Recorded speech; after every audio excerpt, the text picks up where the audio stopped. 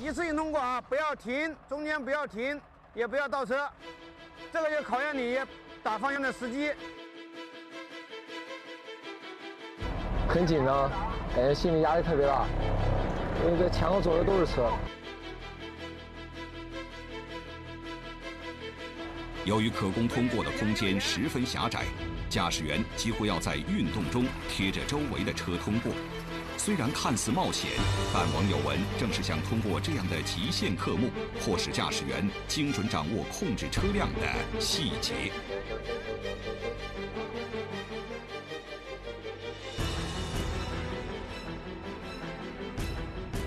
不好拐，非常不好拐，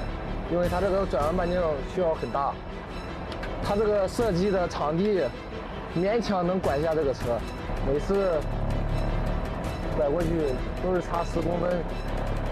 就撞车了。现在难点就是咱们在前进过程中，车体比较宽，它的视角死角比较多，